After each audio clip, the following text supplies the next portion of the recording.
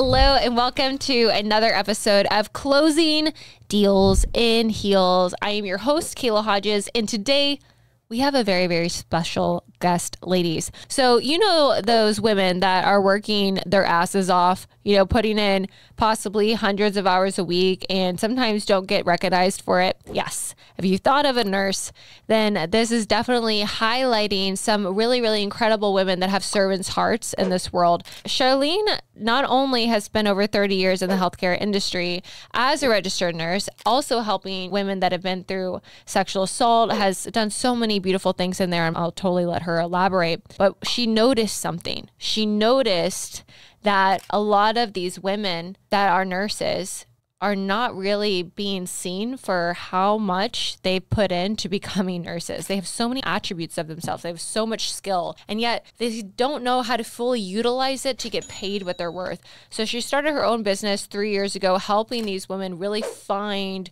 a way to use these skills in business and to make a lot of money. She started working with us, I believe, about a month or so ago, has really transformed her business, has transformed the lives of these other people. And I just want to bring her up She's a badass. Charlene, hi, Queen. How are you doing today? Thank you for being on the show. Hi, Kayla. Thanks for having me. It's a pleasure. I um, was just talking to you a few minutes ago, uh, Charlene, and I just get all excited because of how much you um, put in. You know, I feel like you've put in a lot of hours and a lot of work, not only with yourself um, getting the skills and becoming who you are today, but also in, you know, building your business and helping other people can you give us just a snapshot of a little bit of your career and you know how you got to this moment so we can understand a little bit more? Yeah it'd be my pleasure. And uh, again thanks for having me today. Um, so yeah i've been in healthcare for over 30 years. I know i don't look that old but you know it's been that long unfortunately. I started really young. I actually started my career as a emergency medical technician at, at a local volunteer ambulance service in a very small town in Ellington, Connecticut. And I did that at 15 years old. So I was doing. You wait, wait, you did what at 15? Yeah, it was emergency. I was riding in ambulances, uh, saving lives at 15. As crazy as that. I don't know who thought that was a good idea. It's definitely not. so that's kind of where my yeah that's where my journey began and i did that uh, through high school and then after high school i went to college for nursing and throughout my college, I also served. I worked at a hospital in a ICU as a nursing assistant. So I've really, I, I really started my career in emergency medicine, and and I've always been uh, type A, kind of go hard or go home kind of gal. I always loved the challenge.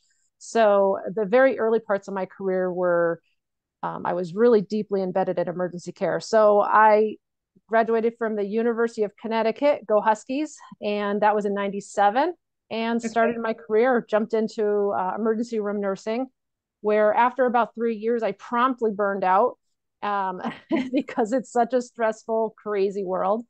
And um, can you go into that really fast, just because a lot of people don't understand? I volunteered at a hospital and I, I promptly got fired from my voluntary position because I broke HIPAA or something like that, uh, or whatever it's called. Um, um, but, but uh, uh, I remember in college doing that because I wanted to be a doctor, and I was in the emergency room. There's some crazy things that are happening in that emergency room, um, and then sometimes it's super dead, super boring. But I remember just like nurses and doctors being in like the breakout room, just like on their like 18th cup of coffee, trying to just make it through the night. Can you give us like a little snapshot, or do you remember like a moment or a time of you leading to being burnt out? Absolutely. Um, like I said, you know, I was always kind of this person. I, I guess you'd say I had a little bit of that adren- adrenaline junkie in me. I loved a challenge, and the ER is the place to be.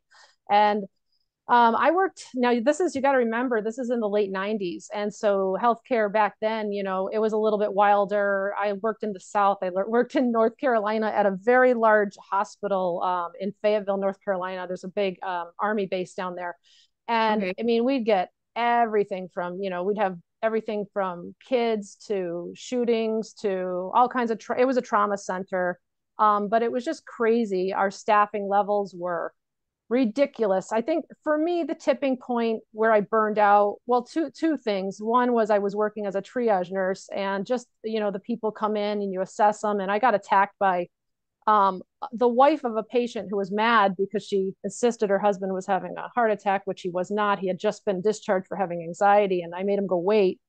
And uh, she attacked me. And so that was step one. And then step two is just having like I had three people on ventilators waiting for beds, and then three people, you know, we call them walking wounded, waiting for beds. And it's too much for any one person to take and you know you're always worried about you don't want to you know our goal is we want to make sure we're not going to hurt anybody and just it was yeah. un, un, unsafe it was scary and it burned me out yeah. so that's where i decided to take a turn um, i actually was I, my career has an interesting path just because uh, a lot of opportunities have ha- found me throughout my career i wasn't looking for them mm. uh, so i was recruited by a, a guy who was in all things a long-term care nursing director which I swore back then I would never work in long term care and never say never in life because I've done all the things. I said I'd never do. And um, yeah, but he he mentored me, and then that's when I entered the world of healthcare administration, leadership, and from there my my career really went that path and direction for many years. Um, mm-hmm. And that's where my passion for business. Um, leadership all things really just trying to change the system from a different perspective and um, and helping improve systems and processes and and make make the work conditions better for the nurses that worked under me. Okay, pause. Okay, so you get this opportunity to go into um, the long term care, and then in that opportunity, you got a, a, possibility to go up, and then you were started fixing things that you were seeing. Yeah, correct. Okay, okay. Yeah, again, kind of the Wild West back then. You know, I, I was in my late 20s. I really had no right. I got the guy hired me and trained me basically to replace him. So within a year, I was mm-hmm. the director of nursing at a position. Um, I was very oh, wow. young, didn't have a lot of you know experience in the area. So I've had a lot of learning by doing a lot of things, doing it wrong, and you know i say you know it's not failing it's it's uh, learning from your mistakes. So i had a lot of hard lessons throughout my life. And then um, at one point i knew that this was how i wanted my career to go. So i went back and i got a master's degree in healthcare administration just to make sure my you know skills and education level was up to par so i could really make some impact mm. um, but throughout that i you know at around that time i started having my children and i wanted to stay home with them so i did a, a couple other I stepped back from management for a few years. And um, you had mentioned I've done sexual assault nursing, and that was a passion of mine. I did that for several years and was a certified forensic sexual assault nurse examiner. Like I said, a lot of opportunities in my career have found me. I had someone who found me for that. And then yeah. um, after I had my kids, I ended up going back into the workforce and I've run nursing um, home care agencies, other long term facilities, and then right around i'm trying to remember i think in the 2000s when obamacare came out they had initiatives around um, improving healthcare through these accountable care organizations. So i was had an opportunity to work for a very large well-known organization in one of the top of the nation in creating a population health department which was kind of unique at the time so I, I have a lot of experience and through that experience it's really it's been good and it's been bad. I've seen the good, I've seen the bad, I've seen the ugly. And then when COVID hit, everything just changed. Mm-hmm. Some for the good, some not so much for the good. I, I, I, I, say that because the good is that, you know, I think in some ways we were forced to come into the 21st century technology wise and, you know, doing things via Zoom and telehealth and things like that. But the bad is it's been rough financially for organizations. And so in 2020,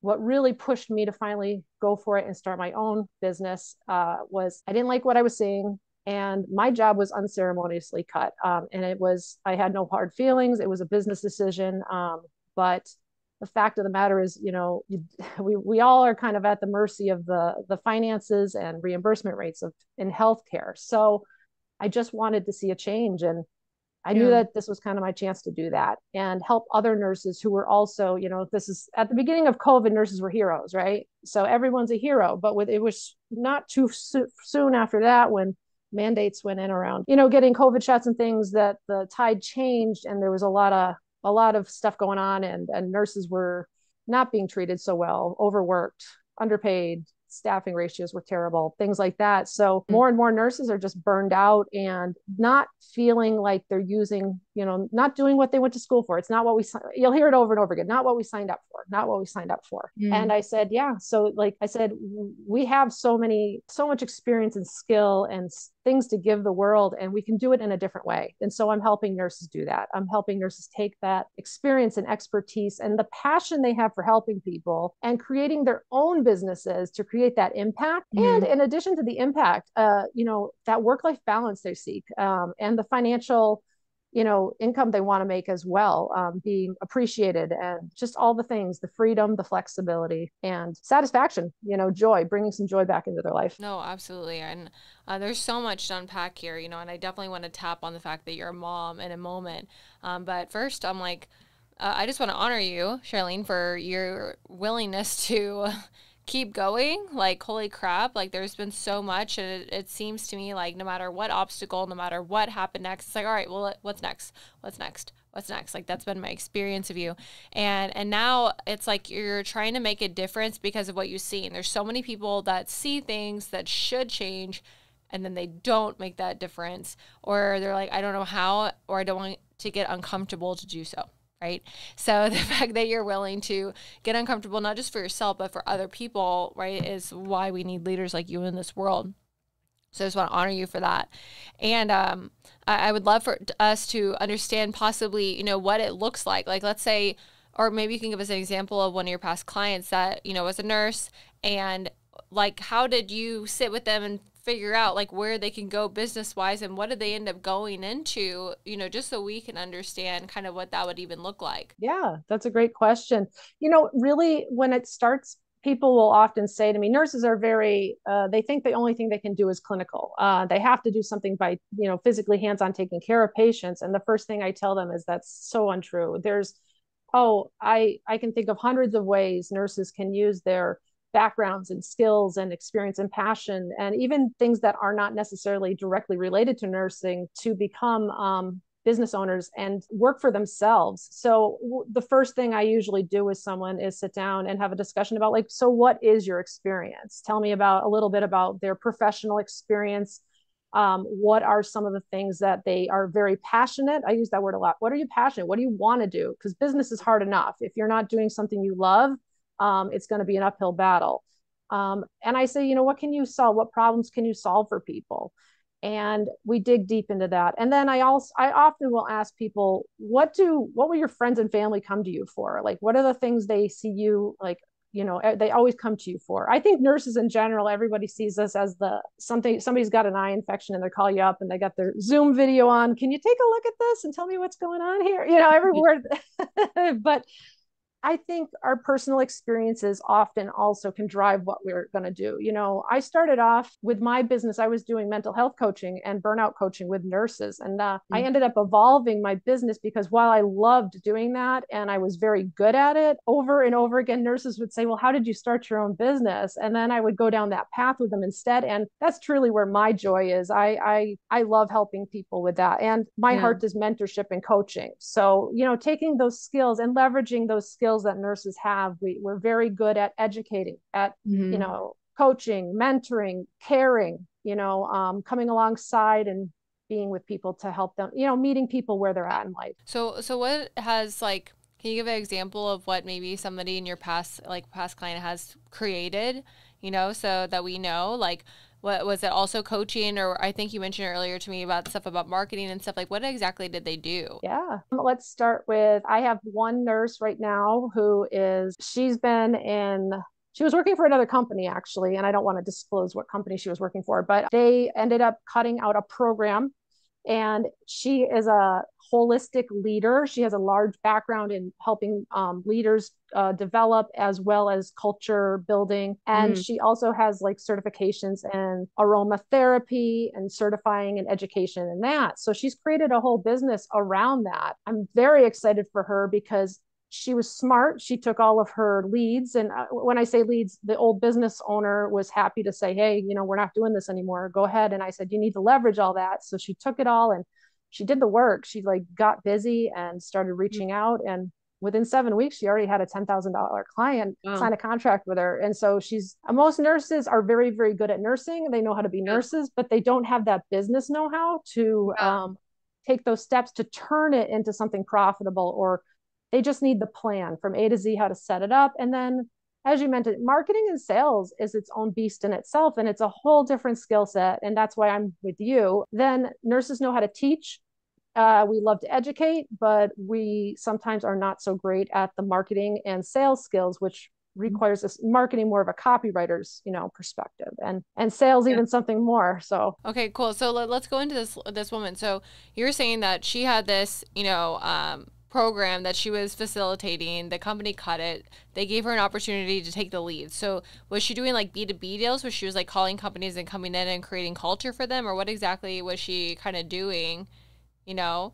Um to to build that like just because now my brain's turning. I'm like well what did she do? I'm like she has aromatherapy and leadership. I'm like what does she what did she do? What did she create? Well i guess i she's i really would call her business a coaching and consulting business because mm-hmm. on, in one hand she is coaching and teaching um other leaders nursing leaders. It doesn't have to be nursing mm-hmm. it can be healthcare in general. So she'll go in and teach those leaders how um her methodology of leadership through a holistic mm-hmm. uh, servants approach um, but she also, as a consultant, can, yes. And so I would say she is more B2B. So, well, she's kind of both. I'll tell you why B2B, but um, she also can be hired by healthcare organizations to go in and do an assessment of the culture. Culture is very big right now. We're in a rough mm-hmm. time where, you know, morale sucks. And so, like, going in and helping um, assess what's going on and then uh, coaching and teaching leaders how to better improve those cultures and um, improve recruitment and retention and all the things that are going to make you know people want to work somewhere and keep staying working there i say mm-hmm. she does b2c too because she is going to be doing some individualized coaching along um, with individual people that want to hire her in that capacity to improve their leadership abilities or get certified in her um, aromatherapy um, certification. See, this is really, really good. And this is really interesting because, like, right now, um, I like I was acquired by Seventh Level, which is a huge corporation. You know, we have over 140 something employees, like just growing, growing, growing, growing. I'm not wanting to slow down anytime soon, you know. And I didn't realize, Charlene, that sometimes um, what I understand in terms of morale, culture, um, building, leadership, like all that stuff, like I know it in terms of like smaller business, but not in terms of like large corporation. And it's very different. The way you lead in a corporation, the way you communicate in a corporation is completely different than in a small business. And sometimes that's really interesting, just highlighting from people that are already in it of what knowledge they have. Like right now, I'm about to um, do Harvard Business um, online um, to go through all of their courses and stuff just to learn how to um, interact in a corporation. And I do have to take leadership courses in there for corporation stuff. And I didn't know that, was an actual thing. I'm like, oh, there's, I'm like, oh, leadership courses, it's cool. I'm like, but it's an actual thing because it's the way you communicate. And I had no idea that I was communicating ineffectively. Um, I was, you know, hey, this is wrong, this is wrong, this is wrong, versus like, hey, this is what I see. This is the outcome of what this communication is going to be like. Here's what the action points are. And it's all very, very, strategic and I had no idea that that's what it's supposed to be. So I think it's really beautiful that you're shining a light on somebody's natural talents that they got because of experience, because of being in there, that people have to pay courses and stuff and go back to school to learn how to do. So uh, I think that that's absolutely beautiful that you are creating this because women need to know that they can provide for themselves and feel safe right? Especially if they've been working so hard and they've done all the things that they were supposed to do, and now they feel tired, burnt out, uh, frustrated. Um, let's talk about being a mom, right? Because I'm sure that some of these nurses are also moms. And what do you see with yourself included, like what you don't get to do sometimes as a mom that could make you feel like, you know, not like, not inadequate as mom, but maybe like that mom guilt um, possibly not being able to spend the time that you're wanting to or feeling so tired that you can't like what were the things that were coming up for you and the things that you're seeing in other women that are working really really hard to make you know ends meet or to make that next bonus or whatever I love you brought it up, and here's why. I, and I know you're a mom, and being a mom, and uh, the world expects us to do everything. And quite frankly, I, and I don't particularly um, ascribe to the mantra that you can have it all. I do think that women can have it all. I don't necessarily think we can have it all at the same time and stay sane doing it. I mm. think, you know, I know when I was a hold on, we had to repeat that. we had to repeat that. don't think that we can do it all and stay sane at the same time. That that's the key right there. Okay, keep going. That's so good. I, I think it's an unrealistic expectation, and I think the are we are we are our own worst enemies. I know I was my own worst enemy, and my kids are older now. My my oldest is going to be 21, and, and I have a daughter who's 19. Uh, so my oldest is a son. My middle one's a daughter, 19, and my youngest is 16. So he's still in high school. But you know, when I was just a first time mom, and I was also I'm a very ambitious woman, and so very driven. So I always had a career mindset. But when I had my children, my husband and I did decide that I wanted to stay home. So I primarily stayed home as a stay at home mom I still worked as a nurse per diem, like just picked up shifts here and there to keep my nursing license up, and I did the same nursing and stuff. But like, like you talked about mom guilt, I just don't think you can ever win. When I was with my kids, I wanted to be at work because I was I'm mm-hmm. I was bored. I wanted to be challenged. I didn't. I felt like all that education I had gotten, all like I wasn't being used that way something my identity something was missing. But then when i was at work and my husband would be calling me because my baby's crying because she's breastfed breastfed and didn't want to take a bottle then the horrible mom guilt like i just never felt satisfied or like i could do it. Now fast forward you know 20 years um, i've definitely evolved and i really do want to um, advocate for women and just say there is no right or wrong if you want to stay home with your kids stay home with your kids. If you want to work work. If you want to do you know a combination of both but don't let anyone judge you. Um, and mm-hmm. more importantly st- stop judging yourself. You know you, we're all just doing the best we can. And I, I, I can only say like I don't like the judgmentalness of women um, and comparing.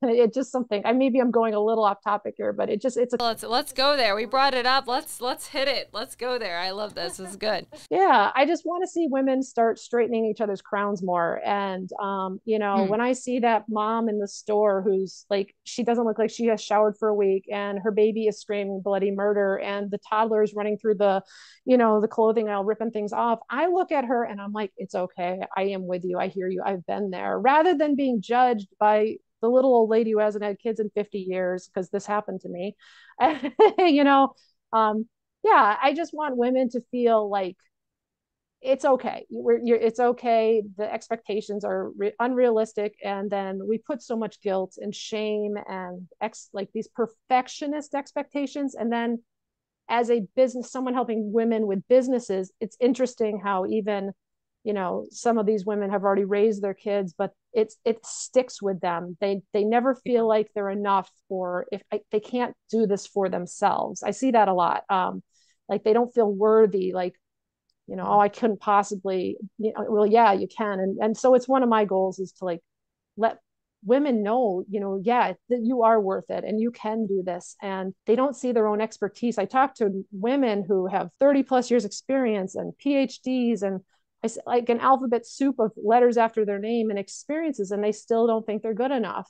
And i'm like what more do you need? We're, we kind of have been brainwashed as nurses to think we need more education and more letters to do things. And i'm t- I, I call bullshit on that personally. I'm like you don't need it you are enough. So part of it as while I am a business coach, I really do lean into for a lot of these women, it's just they need to know that they are enough just the way they are and someone giving them that permission and saying, yeah, you can do this, go for it. This is good. And, and I want to touch on something here because this happened to me the other day. I feel like because so many women do judge right and do have issues with other women just because they haven't healed from that and like that's one thing for me like i really want to break break um generational um, like curses and trauma of like women being mean to women and comparing ourselves to women, you know, and it's like even like in like tribal community days where like women had to compete against each other to like get the best alpha man, you know, it's just uh, there's just so much dynamic there and and I know every woman that I've ever spoke to has had some experience in their life where there was another woman that was being mean to them for no reason. And I think that we all really get to heal from that and grow together. I was in a grocery store the other day and I had uh, a woman uh, that was pushing her kid around in a buggy, right? And um, her kid was like acting up, you know, and it was like the cutest, like the cutest little boy, uh, maybe like one and a half, two years old. And uh, Charlene, I want another baby so bad. Like I, I would do anything for like a little baby that I could just kiss and hug. Like my God, like just let me hold your baby, you know. And uh, and I'm looking at this baby, and in my mind, I'm not envious, but in my mind, when I see something that I want, um, I heard somebody told me once, they were like, don't be like, oh, I wish I could have that. But it's almost like like life and like God is showing you, look what's possible for you. Right. And so that's like my new turn. Instead of being like, man, I want a baby. Instead, I'm like, oh my God, look what's possible for me. Like one day I'm gonna have a cute little boy. Right. Like like I'm just like speaking it out. But it was so interesting because the baby's acting up and she looks at me, she's like, oh my God, I'm so sorry. Cause she felt like she was bothering me right like and i could tell in her eyes because i read body language and i'm like like she's really ashamed right now of her cute little baby that i would die for you know like that is making a mess because he's like one and a half or two you know and I'm just like, oh my God, like it's okay. Like, I'm like, hi, I'm like, hi, you're so cute, you know? But I just, I just thought that was really interesting that you noticed that as well, because with just like the opposite fact of like somebody judging me like, oh my God, I can't believe it. In my, in my mind, I'm almost the opposite, like, oh my God, like, oh my God, you're so lucky, you're a little baby. And we we take this and we try to put ourselves in this mold of what we should be. The perfect mom. My kid is always behaved. I am dressed to the nine and everything is good. And you know what? Like uh, and i'm making money and my husband and i are the best relationship ever like or whatever the situation is you know? And like we just try to put ourselves into this mold and expectations of what we think we have to be. Oh and i'm gonna work and i'm gonna come home and i'm gonna cook dinner and like some point, like part of my French, but like we have to stop giving so many fucks about what we think we should be and focus on being present because those memories are going to be gone. They're so gone so fast. Like, I wish, I wish, I wish, and I can't go back in time and spend, you know, the moments that I did have with my kid like on the time that I was home. And I'm very much like you Charlene. I'm super ambitious. I felt so bad. I'm like I I, I just want to work. I just want to get things done. Like I can't I'm not I don't make crafts. Okay guys like I, you're like me. I, I am not that mom either. Not that person um, and it really messed with my head because my mom was. My mom made our clothes. My mom stayed at home. Like, bless my mom's heart. I have no idea how she raised five kids, like, um, as a stay at home mom, and like literally did every, made fresh bread. Like, she baked bread, guys. Like, she baked bread. And um, I had this level of what I thought I should be as a mom, and I wasn't that because I was so different but the a- actuality is like i can't go back and make those moments re-happen again so like can we be present when we're at work, we're like, hey, we're going for our goals, and we're going for what we want, and we're like striving to become better every single day.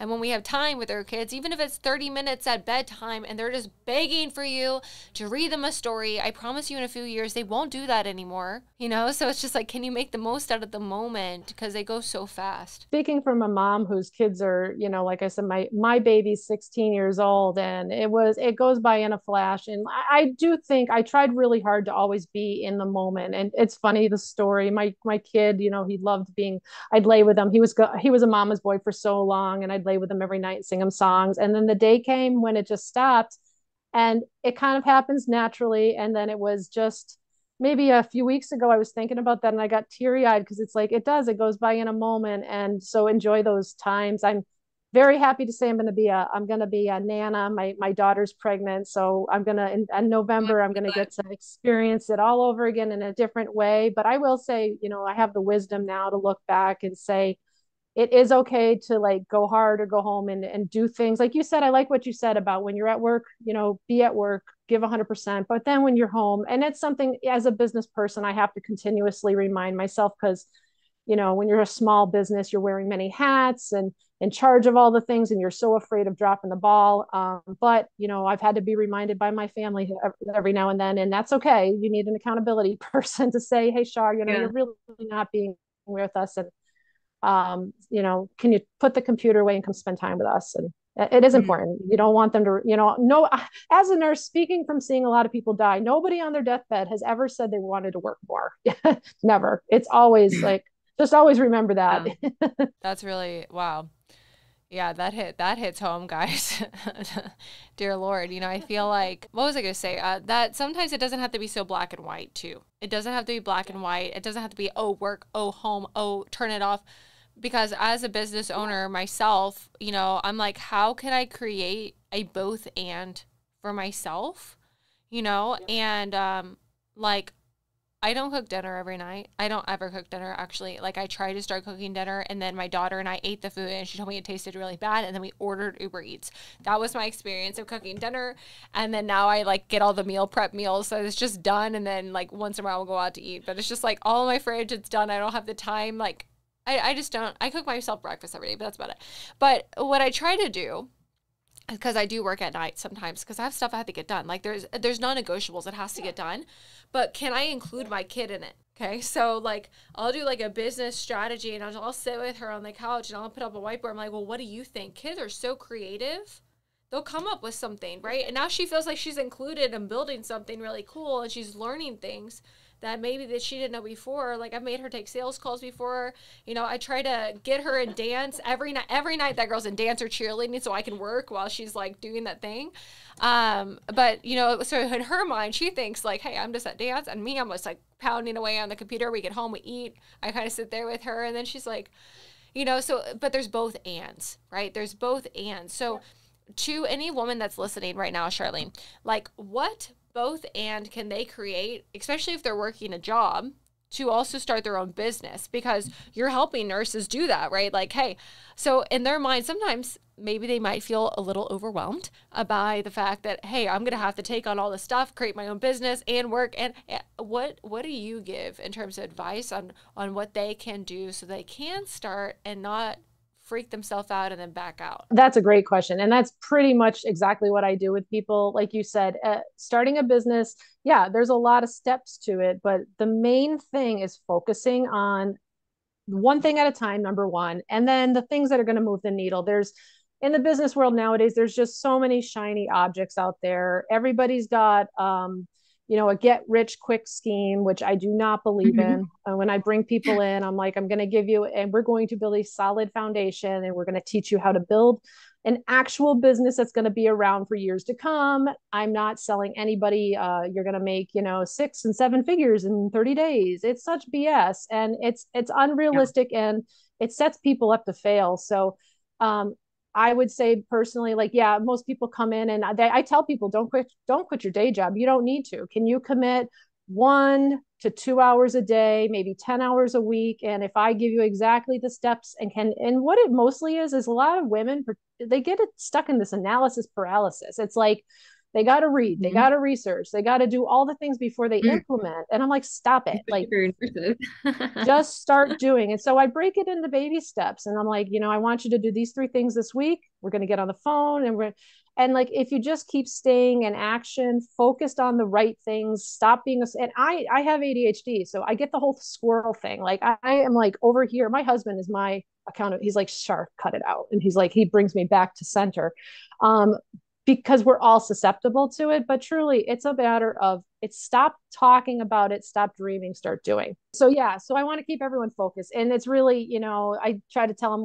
let's work on three priorities three things like and what are going to what are those three things that are going to move the needle? Let's not focus on you know things that don't matter. I think people often procrastinate and they don't if it's something they don't want to do they'll work on all the the 10 other steps that really aren't going to move that needle um, i think a great one for an example is uh, sales calls like it mm-hmm. even though it's one of the most important things and it's exactly what's going to bring money into your business um, if it they're not if you're not good at something or scared or uncomfortable mm-hmm. like making cold calls making even warm calls yeah. it terrifies people uh, to reach out and so if you don't have that you know the right skills for that and then you know holding their i tell them number where i'm there i'm there to hold them accountable but i am also there to help teach and support them along the way too. And uh you know because if you have the right skills you can learn how to do things and not be so scared to do them and then and I mm-hmm. tell people, I don't care if you're scared, do it anyway. Do it anyway. Do it over and over and it. over until you're not scared anyway. yeah, which is what you did. You know, I, I know that you just became our client, right? Like about a month ago. What has been your experience? Because I've seen you like work your ass off and get crazy results this past month. And I'm just super proud of you just for like um, diving in full, like to both feet, full in, dive in. Like, what do I got to do? Okay. What do I got to do now? Okay. Now, what else do I got to do? Okay. And um, the biggest results I see are from people that take action like that and are willing to get messy and willing to like go all in. So, can you just give us like your experience and what kind of happened um, with you and um, and just like the fear that possibly you may have felt as well because you know we are on the other side coaching people through fear, but we go through it too. And sometimes we don't show it. I think that's great. Yeah. So, you know, when I joined, I, I knew my bottleneck uh, is it, it was the sales process. I had a process. I've been, you know, I've worked with another coach. I just never felt aligned and really just didn't feel good. And I was looking for something else. And I, I listened to um, Jeremy's podcast and you happen to be the guest. And I wanted a woman coach. I have been searching for, and it is, I cannot tell you how difficult it is to find women in sales. So I was, I mean, and I don't mean women, I mean women who teach sales. So um, I found you and I was so excited. And yeah, I am a go hard or go home kind of gal. And what I've learned through, like I said, in what's I, what I teach, like you said, get into action, even though it feels scary. Like, don't think for a second, I don't get scared. you know, it's, there is a little fear of failure, especially when you're someone who tends to be pretty successful. Um, I, nobody wants to fail, but the thing I've learned in life is like fall down, pick yourself up, dust yourself off, and do it again and again until you get the result you're looking for.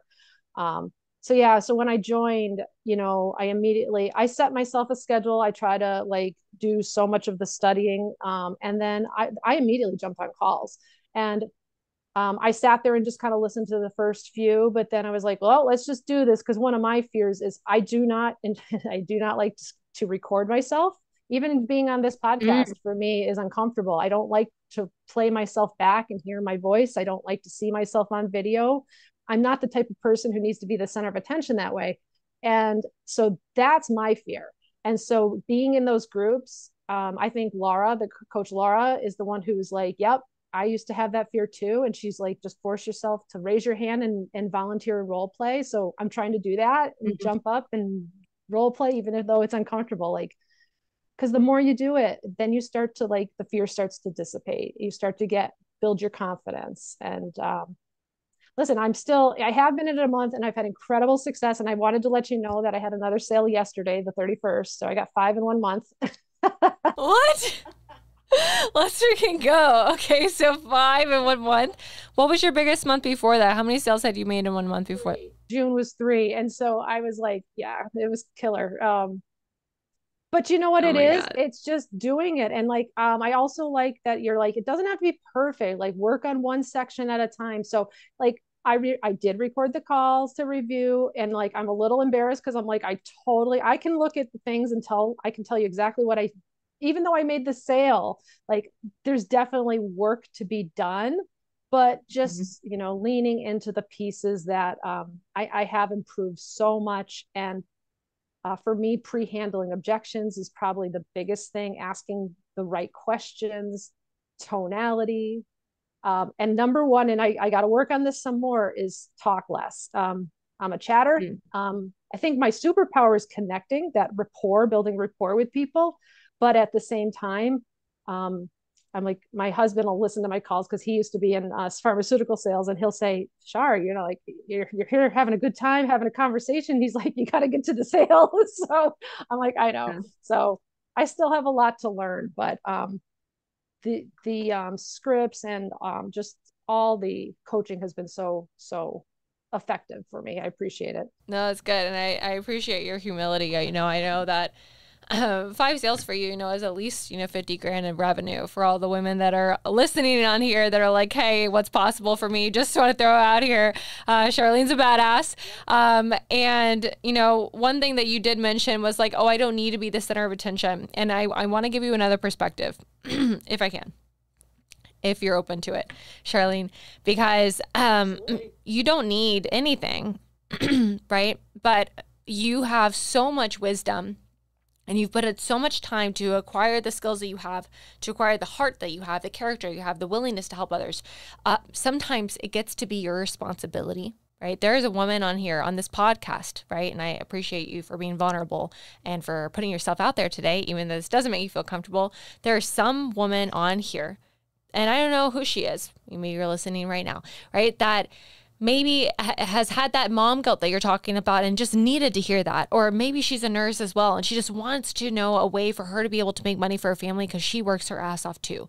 Or maybe she just needed somebody to uh, speak into her today to let her know that she has what it takes. And, and you were that example for her. And this is just in one scenario. You're constantly pouring into other people who then go and turn around and pour into other people. So it's a domino effect.